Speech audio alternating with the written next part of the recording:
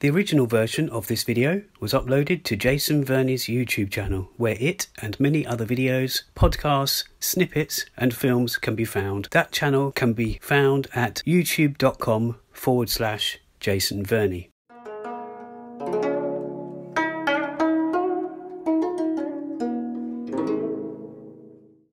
Previously on the Not So Korean podcast, featuring Eugene Kim.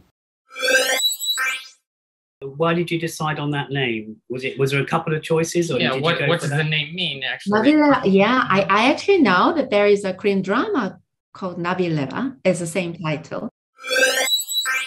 This is just a quick note to say that although you may have heard in the last episode that Nabillera is from a poem by Jung Chi-yong, it is actually by Cho Chi-hoon.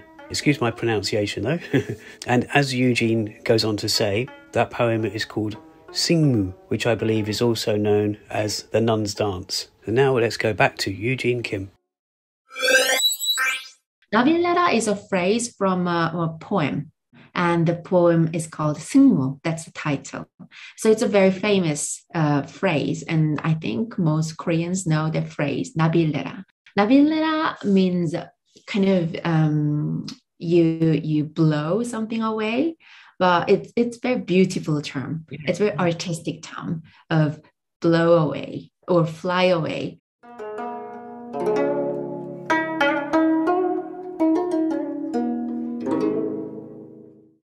Welcome to the Not So Korean podcast. Before we start this episode of the No So Kopo and part two of our interview with Eugene Kim, we'll just play about three and a half minutes from part one, a selection of snippets, call it. The three of us talked about so much in part one, but these few minutes will give you a flavour for the conversation as a whole.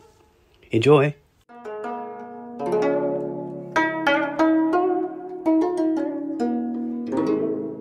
So maybe first of all, can you just introduce yourself and what you do these days?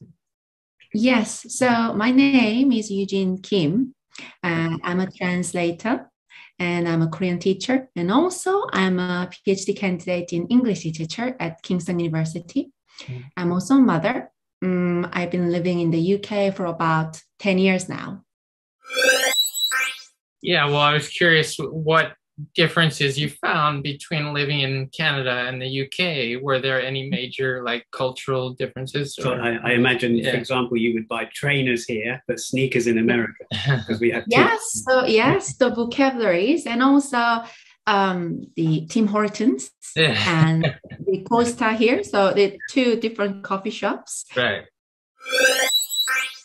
Yeah, obviously you you started this journal of Korean literature uh, called Yeah. Which is on, online only, I believe. Yes. And um, so, could you tell us how that started and and why you wanted to do it?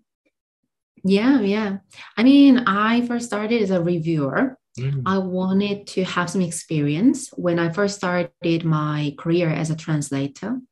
Because uh, even though I'm Korean, I cannot say that I'm an expert in Korean literature. I wanted to know the trend, and I wanted to know um, the what the foreign readers are interested in.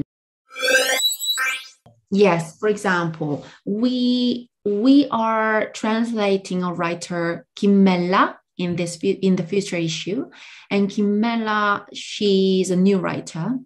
She writes about queerness. I see this trajectory. I, I see this kind of pathway uh, of the drama fans. They're slowly moving towards literature because it kind of makes sense, you know. Yeah. Mm, when you become interested in a certain medium and a content, you want to develop the taste and you want to explore more. Yeah. Yeah, and then you have, I guess, you have the Korean films. Some of them are based on books, and uh, maybe Yeah, some the dramas. yeah. are. I don't know. What Yes, I yes, wonder if they go exactly. there because they've seen that and they want to know more about the writing.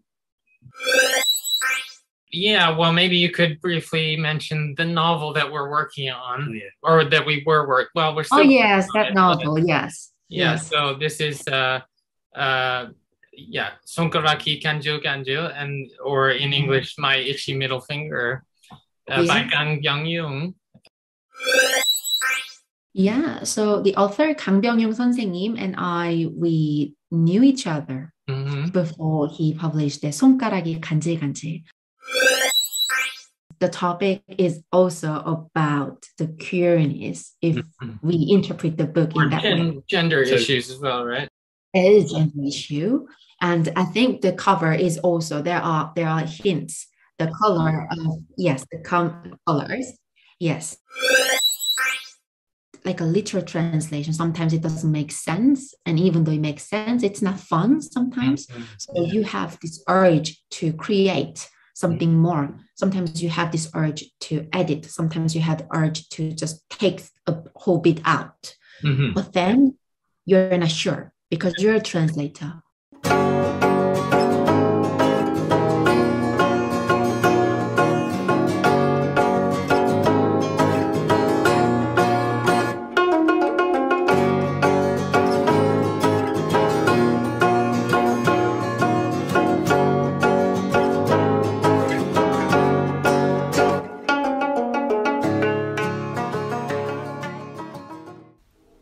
This is the No So Co Po with Jay and Tim.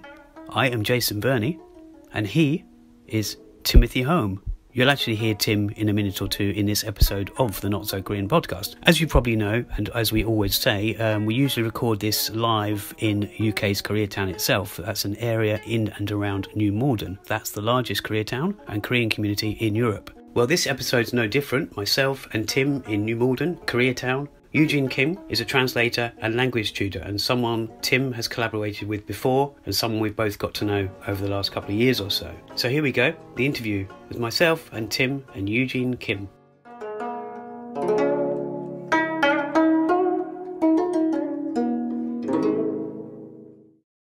And just lastly, before uh, I get off this subject, and then I'll let Jason ask some more questions. But uh, do you have any um, advice for people who maybe want to become a literary translator, like from Korean to English?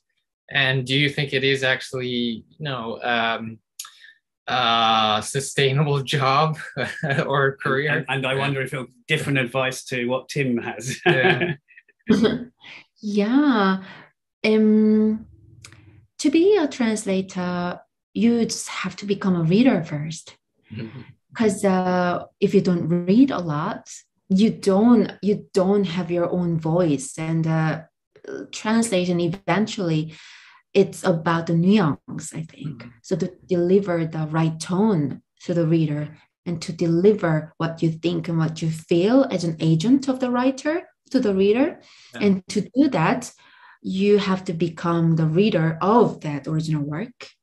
And you just have to read other novels and other voices so that you can situate this work that you're translating amongst those other works. So if you enjoy reading and if you want to become creative while being faithful to the original writing, then maybe being a translator could be your vocation. Mm. And uh, of course, it's not a cushy job. yeah. Needs a lot of time investment and also lots of patience. But if you have passion and if you if you are you know if you are diligent if you know how to uh, run your routine and then you can enjoy your job as a translator Mm, i think i've been living as a translator be, purely because of my passion i think. Yeah. because in terms of reality it's not it's not really a uh, sustainable Mhm. job Mm, it's hard to describe, but it, it is, especially because nowadays you have this AI translator. So Yeah. maybe the whole industry is under crisis. Yeah.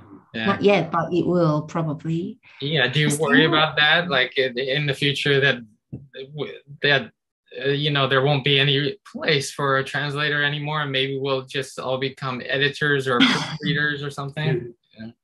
I, I still have a faith in literary translation. Yeah. Yeah. I don't think the robots can do it. Yeah. Yeah. Um, So I still have the faith in literature and art. Mm. but maybe the technical translation and the other fields that require translation they would they i don't know some of the tasks most of the tasks maybe they can be replaced with a machine Right. translator Yeah, yeah, yeah. um i don't know what do you think Yeah, it's hard to say. Um, I mean, they, there, there's this phrase or that um, if you give monkeys enough time, eventually they'll write the complete works of Shakespeare. But I, I never believe that that's possible. so, to me, yeah, I don't think uh, that AI could ever, you know, replace a human completely in translating a novel. But I don't know. because they yeah. they also Mm. have to know the cultural differences, wouldn't they, as well? Because Mm, even if yes. they think even if they Yeah. think they put it, there's Right, so much right, in Korean right, culture. Right. Yeah, yeah that's a great comparison the monkey and shakespeare yeah yeah, Yeah, I agree. Yes, because um, you know, usually when a machine re- machine replaces a human job, Yeah. machine does the job and human becomes a manager. Yeah. That's how it works usually. But Yeah. I don't think that applies to translation. Yeah. Even though we should accept the flow of the machine eventually, I think we should do the base work. We should do the translation, and then maybe machine can comment Yeah. something, Yeah. but then we still have an authority to say yes or no. Right. Mm. Yeah, that that's my my imagination about the future. Mhm. Good. Okay. Um, okay, so you mentioned earlier about um, the whole Hallyu Mhm. sort of wave and how I can't remember what you how you put it earlier, but you mentioned it was Well, whether Yes. the literature is could be seen as Oh. part of the Korean wave, or if it's sort of its its Yeah. own thing. And so I, I was wondering, I mean, something I had a note about earlier was that I wonder if you'd seen much change in the last sort of uh, how many, however many years you've been learning and before you could translate, how you've seen the literary world tra- change with regards to um, the amount of novels that come out of Korea that get translated to English and also the techniques. Have they changed much in the time that you've been doing? I know it's a, it's a while, but Um, I can I can comment a bit about the change in a style, maybe. yeah, that'd be good. Yeah. Um, the Korean literature, maybe it's a marketing or maybe it's really a trend, but it's Mm. it's becoming very fashionable and stylish, um, especially in the UK. I'm not sure about American and other countries, but in the UK, um, it's been regarded as a young voice. Okay. So um, we have some independent publishers that publish exclusively Korean novels and poems. And the book covers are so stylish, and also the content and the way the translators write and uh, and translate the language is just so beautiful. Not just artistically, um, it's just something very different and even odd, but it makes sense. And they definitely deliver the Koreanness throughout the language choice. I think they're very skillful. Um, and also the readers, I think, uh, readers are also young, all because of this Netflix and all Hallyu influence, I think. And um, and um, the industry, in terms of industry, yes, it's becoming really large. Um, you remember, like a few months ago, there is the Korean Week, Culture Week, and there's a display in a Foyles bookshop. And I was so glad to find all so these. many. objects. Oh yes, this is the middle of the London, you know. Um, so I I really felt that oh, this is now one of one of the you know world literature now. I mean, Korean literature has been one of the world literature, obviously, but it's just the the feeling that I get nowadays, Mm. um, um, and also the exposure in the media, and um, the the the events, the Korean authors book talk. Mm, what else? Mm, Yeah, I know. I know what you're saying. I mean, even Yeah. ten years ago, obviously there weren't as many, so many books being translated. And Yeah. That's what it felt like to me. But even you mentioned the covers; they weren't that. Now they look like Yeah, they weren't works of art. Very They- stylish. Yeah. They were Yeah. very bland before, very decorative, but they weren't very Yeah. colourful. Yeah. Yeah. They've done Yeah. some huge changes. It's nice. Yeah. I mean, yes, I should say in the past, uh, the Korean literature and the translation was quite scholarly, if that makes sense. Yeah. Yeah. Yes. Yeah. So it was it was like related to the academia. It was a necessary work for academia, but now it really came into the popular culture. You see this YouTube video about Korean literature and the booktube about Korean literature. You didn't have that even like a few years ago. Mm. Mm. Okay. Very much. Can, Uh, I, can I comment something? Yeah, sure. Go ahead. Yeah. Yeah. It's just my small anecdote. I mean, because usually when I start the course in the beginning of the course, walk Yeah. one week, I introduce myself to students. Yeah. And I usually introduce myself as a as a person from somewhere from Seoul. I Mm. don't really mention my my city name, Mm. Really? but then the students really wanted to know the name of the city I'm came from. Uh, yeah. I was like, do you do you really want to know? Do you think you will know the name? And then they say, oh, gone, gone. So I say Incheon. And then they say, oh, I know the city. Yeah. Well, It's Incheon not- Airport, right? Airport. But not because of airport, airport, they, they just know it. yeah. I think they saw it from a show or drama. Yeah, Maybe. as well. Yeah. Yeah. I felt that oh, the change Yeah. from the student response because somehow I'm I'm used to introduce myself as a person from Seoul because Seoul is the capital city. Right. But now I don't have to adjust myself Yeah. You're in Incheon. that. I You're just have to be myself. Yeah. Yeah. I mean, Yeah, there's So it was great. Yeah. yeah, and of course you have other authors, Korean authors are doing well, like Han, Han Kang from Gwangju. Yeah. Yeah. So Yeah. that's maybe people are realizing there isn't just Seoul. Yeah, yeah. Yeah, I know. Yeah, because when you do a small talk with your with your friends at a party, you just say, "Oh, I'm from Seoul," and then that's it. Very easy. But Yeah. now I don't do that anymore. I'm from Incheon, and then they I like sometimes know, they sometimes don't know, and then I explain that Incheon is nearby Seoul and Yes, blah blah blah. So, but, but but it is a major city. I mean, I think I recently I heard I think it maybe even overtook Daegu as the third largest city in Korea or something like that. Like oh, really? Uh, I didn't know Yeah, that. yeah. it was the Mm. fourth largest, I think, and now it's the third largest, I think. So Really? it is But this growing. is- Yeah. Mm. Yeah, this is this is what happens to me ever since I came to the UK. Yeah. I get to hear about the Korean news from my foreign friends. Yeah. I don't know much about my Yeah, yeah, country. yeah. Yes. So I, I mean, have some of your students have they actually been to Korea, or you think they just heard about it from other, you know, Mm, yeah, online some or of them, some of them they've been to Korea, and some of them they're planning to go to Korea. Right. Yeah. Uh, so they they take my course and then they apply for a study abroad program. Sometimes they just go for a holiday. Yeah. Sometimes they go for the postgraduate studies. They they they all have different objects Mm-hmm. objectives. Um, but maybe yes, because Incheon has a has an airport, so they know the Incheon because they always check the Skyscanner and then they Yeah. want to book a ticket. So maybe that's why they know Incheon. That's probably part of it, yeah. Yeah. So Well, yeah. Do you want to just uh, say a little bit more about you or your class that you teach at Kingston University and how how that how you got involved with that as well? It's it's fantastic. Yeah, yeah. The class uh, is always full, Mhm. and this year I'm offering level three, so it, it's huge progress Mhm. considering that we started the course only three years ago. Um, so the the story of the Korean course at Kingston University is very Korean. It, it resonates with the whole popularity of the Korean culture Mhm. because the course was not launched by the authority. The course was launched by the demand of the students. Mhm. The students wanted to have the course. So they even emailed to the director. And then I was there. I started first year full, second year full, this year also full. And the participation rate is also very high.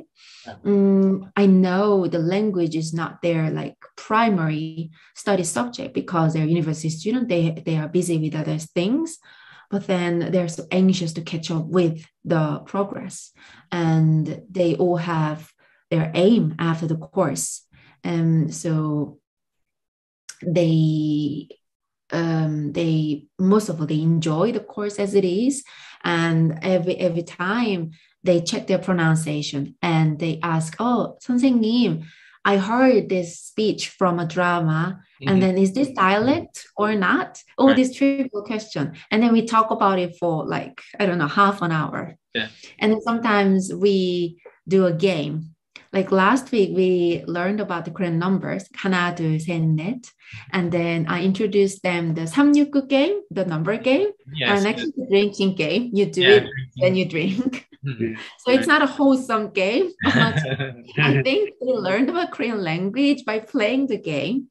and They loved it. So, and then also kind of, I don't know, I think my job was to guide them, but somehow they guide me. I learned so much while studying with them. Hmm.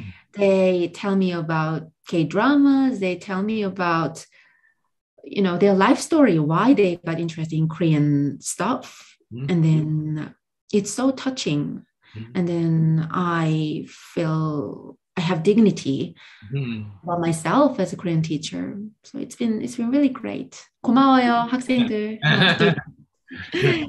yeah yeah. Did you? I, I, we might have touched on this a little bit earlier, but the, the language you use, uh, obviously, you learned American English yeah and also Canadian English and English English. Mhm. yeah So do you do you mix it up, or do you have to? There's quite a few words that are very different in English to American, or you use the Z instead of the S with organized, and Mhm. you know, do you find yourself mixing it up without realizing? i don't know. I think i'm just speaking a korean english. Yeah, I and I I I, I feel that my accent gets different depending on so, depending on the person that I meet. So when I talk with Tim, then I feel like I'm talking But when you- Canadian English. yeah but when you write it down but when you write it down how does your Yeah. when you're trying to think of that right word like we said Mhm. earlier sneakers Mhm. if you were translating a book in england we wouldn't write that because it's uh, we don't Yeah, we don't or- know what they are Or you said you went to a petrol station in Canada, but we wouldn't say a petrol station in Canada. Yes, we that's asked that we Yes, yeah. Yeah. so i wondered how you use that when you're writing a novel do you sorry not writing a novel translating a novel Oh, or any translate. do you think ah that's not right because i know that's not right in english or i want to use the american term so Mm. how does That's a that good process question. work? That's a good question because I am actually quite neutralized in here now. yeah So when I was translating the 손가락이 간질간질, I struggled a bit, and uh, Tim pointed that out because I I was using some British expressions and vocabularies, and I was not aware of that. Yeah. But the main character in the novel, that main character, the I, uh, is a baseball player, and obviously baseball is American and Canadian. The the American thing. yeah So it would be suitable to use American English. Mm. And then I I think things got very weird in, about my translation. I, I just didn't know which Yeah, one- direction that I should go. It was very mixed up. Yeah. And it was very, very weird, very awkward. So I was like, oh, oh no, what should I do? Yeah, and the thing is, we may have to change it depending on the publisher. Like if we are publishing it in That's the UK, true. we may have to change some things for, Yeah. for the UK Yeah. audience, right? It's- So- Yeah. Do you, have you ever been approached to translate anything else, like subtitles for a film or something? Have you ever been asked to do stuff like that? Like, um, Yeah. you know, you have. And have you ever Yeah. done that for a short film or for? Some, Yes, so I I've um I've translated the subtitles for short videos Okay. and also the uh, media coverage before a publication. Hmm. And I also do the translation from Korean to English, also English to Korean. Mhm. Um, I haven't done a film translation though. I'm interested, but I think that's also a challenging job because of the word limit. I, I, Mm. did, I had a mid-length film that's been selected in a, a festival in Korea, and it's Yeah. Korean, it's Korean and English. So I had a couple of my friends to Mhm. help translate the English to Korean, and Yeah. I had to then look at it and see if it was correct. Oh, of course, my knowledge is nothing like Tim's, but I Yeah, could yeah. I could still see the end of the words. You know, the, the, the like you said, Yeah, and. Yeah. no, I just yeah, I just wondered. It's it can't be. It's a very different ball game, but at the same time, Yeah. yeah, ball game. That's American. you just have to be very precise to be a subtitle translator, I think, and you have to be witty Yeah. to contain the nuance in a, in a short you have phrase. put yeah. Yeah. you have to put it in one sentence or just Yeah, you you, get c- you in could mind. you could ask Dar- Darcy Paquet. I know I have I have already. Yes. Yeah, we we have. Well, we, we I, know, I, I I met him in 2012 when I interviewed him for a Yeah. documentary that didn't get didn't see the light of day. But Mhm. yeah, no, he's obviously he's he's very good. He's you know, I mean, I guess he's very good because I Yeah. never see the original, but I I believe Yeah. he's very good. I, He's very good, but I think that he's very very busy. Yeah, very busy. but he also works. He usually works with the directors quite closely. Yeah. So I'm sure he asks them lots of questions. yeah, Not sure about Yeah. things. Yeah. Yeah. Uh, yeah. all I was going to mention was about you have some similar interest to Colette Balmain, and you know, yeah. So do you do you cross paths much? Like, do you chat at all, or do you? I remember once We're you, you we're friends now. We're almost like friends now. We messaged la- uh, last night even. oh nice So yes, um, Colette is my mentor. I should say we are friends, colleague, and my teacher. She's my everything. yeah Um, we first met as a teacher and student. So when I first started my PhD, I was lonely and I wanted to just talk to anyone about my project and about my difficulty about doing the PhD. So I just knocked on the door on the campus, and there was Colette. She uh, she was a teacher. So she first read my writing, and then I asked for feedback. And then after she read my writing, she asked, um, "Are you interested in Gothic?" And then I said yes. And then she said, "I'm I'm doing research about the horror films." Hmm. And then she turns out to be a film expert in Korean cinema. Yeah. So that's how we got connected, and we became sort of friends. And now it's been like eight years Mm. and now i'm also a teacher and she's teacher um, and i think it was the bts conference that kind of consolidated our relationship okay so when i was teaching just started a korean course colette began this big bts project Mm. and kingston university had opportunity to host the conference it was a big conference we Yeah, had the I know. scholars and Okay. the uh, people from everywhere. Mm. And then I was the committee. Colette invited me to join committee. Um, and now we discuss about what we can do um, uh, as a team and what we can contribute in academia. yeah And um, we are sort of very similar to each other. I mean, Colette studies about film and she's an expert in film, but she also studies about women's rights as well and uh, drama. So she's very expansive. yes And I'm expansive too. I am English literature PhD student, yes. but I'm teaching Korean. I'm a translator. So I'm kind of, I'm, I'm, you know, I'm very expansive too. So we always have something to talk about. We have many shared realms. this is um this is sorry one more thing this is to do with kingston itself and obviously you and colette there's a kingston connection Yeah. Also you mentioned the mental mental health um Mhm. we, we talked about that earlier but also there's we we interviewed a woman from mind in kingston do you know about them Yeah. they Mhm. specialize in obviously people with mental health issues but also Yeah. they they they actually target as well the korean community because like you said Yeah. earlier they don't necessarily want to admit is it admit admit that there's you know they've got social they've got a mental health issue or something Mm, mm, mm, um, you, are you aware of uh, mind in kingston or do you know much about their work? Yeah, I've heard of it. I've heard of it, but I didn't know that uh, the the Korean community yeah they've um, got a lot of their signage is written in hangul and korean because they want to really. Oh, I Yeah. didn't know about that. Yeah, they- Oh, we only found that out at the festival a few months back They were looking for some Korean volunteers to work for them, and Yeah. uh, we met one lady, a Korean lady, a couple Yeah. of days ago who, who is doing some volunteer work for them now. oh yeah we were at the sewolo um, mhm. demonstration Mhm. no i just wondered yeah so um, yeah. and the other thing was i know you mentioned your child obviously we know Mhm. you've got your baby but yeah. Are, are you because obviously it's quite hard work translating. When she gets older, you're obviously going to try and persu- dissuade her from doing translating. Or would you be quite encouraging towards her? I don't know. I think I would I would encourage her to become a translator if she want to. Yeah, yeah, yeah. It's a rewarding job, even though it's it's a challenging job.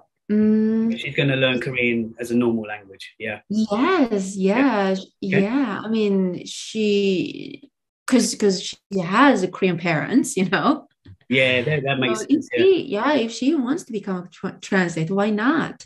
yeah. Mean, you don't you don't just live Oh for my God. money. You also live for a meaning of life, and Yeah. I think working working in literature is such a rewarding thing It's to rewarding. do. Yeah. Yeah, It's like with me with my video projects and other stuff we do. It's not for the money. You know, we do it out of passion. Mhm.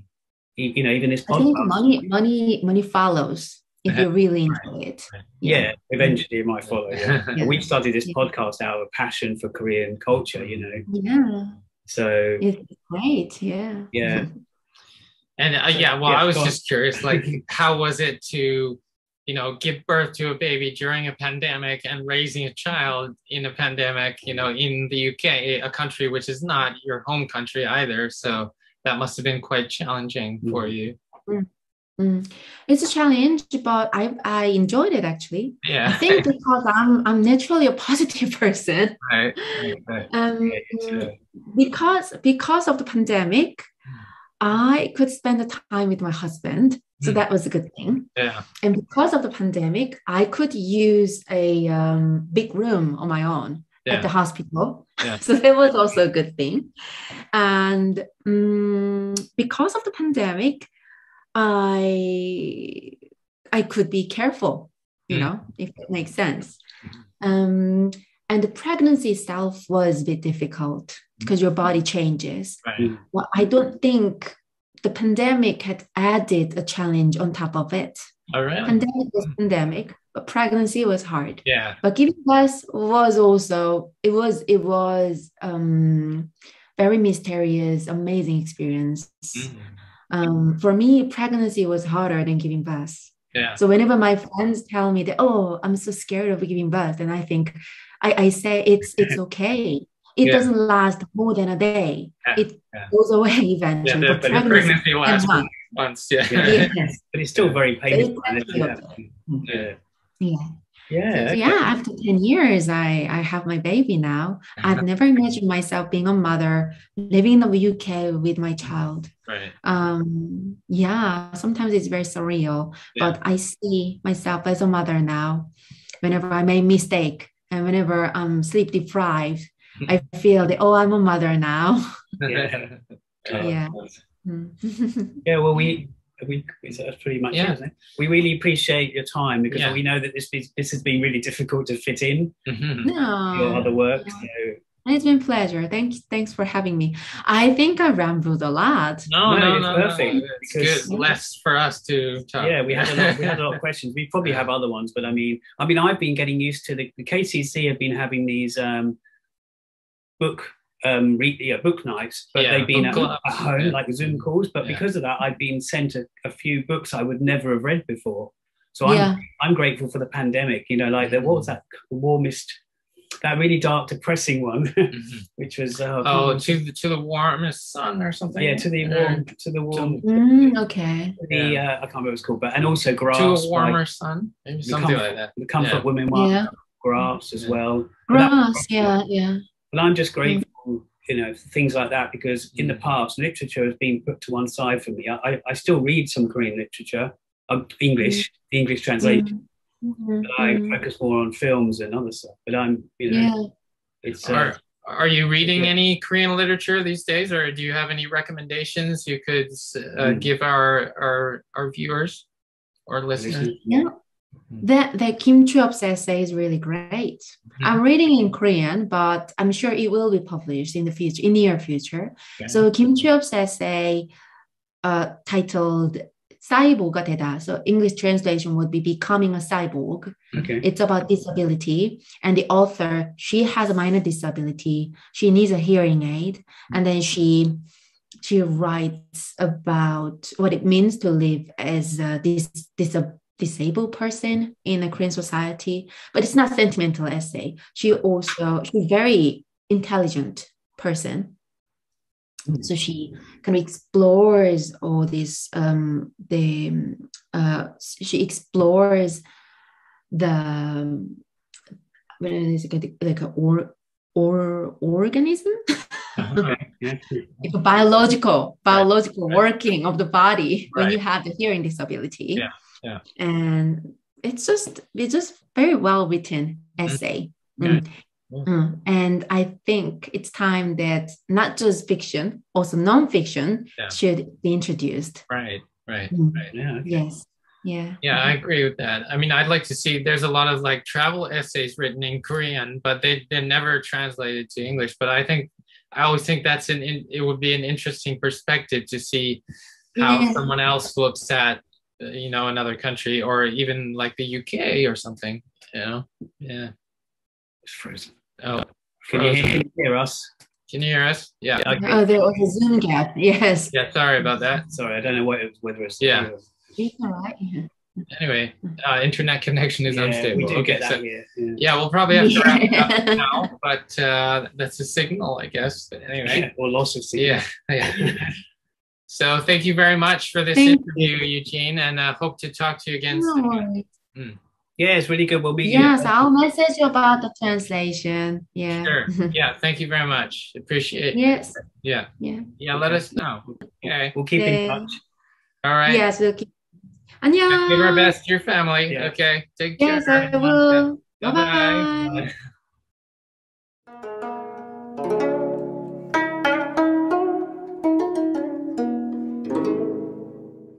Well, we hope you enjoyed that episode. So that's all from us. And Yongi, guess they are.